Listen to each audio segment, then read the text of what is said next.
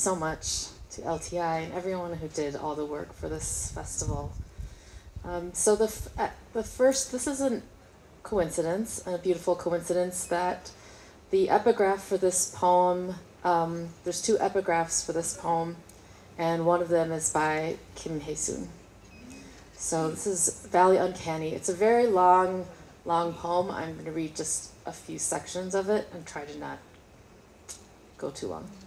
So the first epigraph is from NASA's website, the astrophysics page, focus areas, black holes. Don't let the name fool you. A black hole is anything but empty space. And from uh, Kim Hae-soon's poem, A Hole, Where's the Hole's End? A valley makes a kind of hole, a hole open on two sides. Korea, an island on three sides. South Korea, an island, water, water, DMZ. North Korea, water, water, DMZ, the People's Republic of China.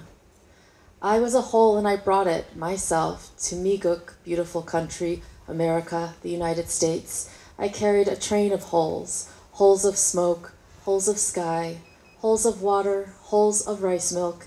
I was an uncanny guest two years old. A week after arrival from Korea, a brother, born in America, asked, When is she going back? Like the heavenly maiden with too many children to carry, too many holes to go back there. There is a limit to canniness, but not to being uncanny. It is infinite. Muhan. So there's a graph um, of the uncanny valley, which a Japanese roboticist came up with. And the idea is that the closer um, something that's not human gets to being human, the more disturbing it is to humans. Um, oh, there they are. So the left is in English and the right one is in Korean. And in case you can't see it, the, the English, so it's a map of the uncanny valley. And at the top is a healthy person. And then on the, the two axes, one is familiarity and the other one is human likeness.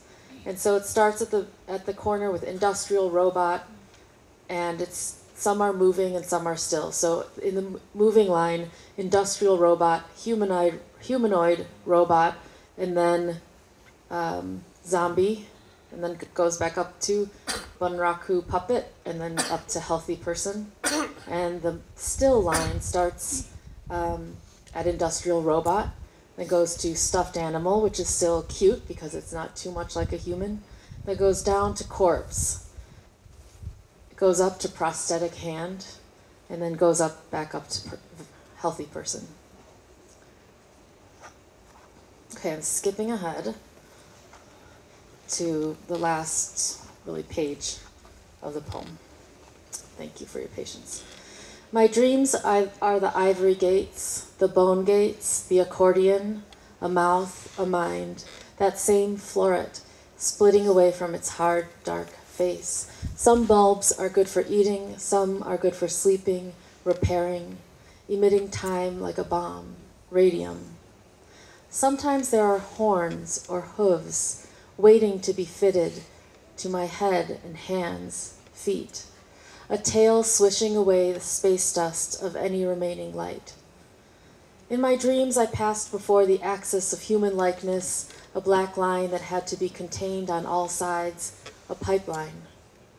A kind of dark traffic, men in uniform were posted all along its length. Some had cameras, some had guns, to slip down its invisible curtains like sheets tied together and hung out of a hotel window.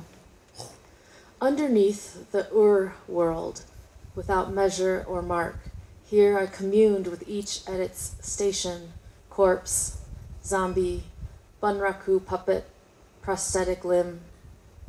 Not holes but force, electricity, instinct, momentum, the vigor of our lives. So many words for a progression like chords, sine waves, lines. Contract, heaven, paradise, human likeness. Moment, lapse, error, mistake. Incident, accident, event, episode. Emergency, crisis, disaster. Catastrophe.